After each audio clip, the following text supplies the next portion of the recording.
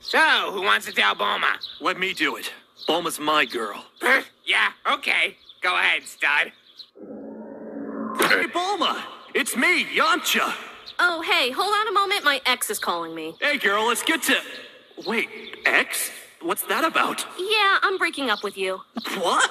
But why? You haven't called me in months. I have been dead! Oh, well, that's not stopping you now, is it? Do not do this right now! Hey, you want to know how this is ending? Hey, Vegeta, want to come live with me? Only if it's got a pool. He's the reason I'm dead! Well, then, I guess he's just more of a man than you, isn't he? Oh, you dirty bitch! Yeah, okay, I'm gonna take over. This isn't going anywhere. Now you listen here! Attention on. Oh my god, leg!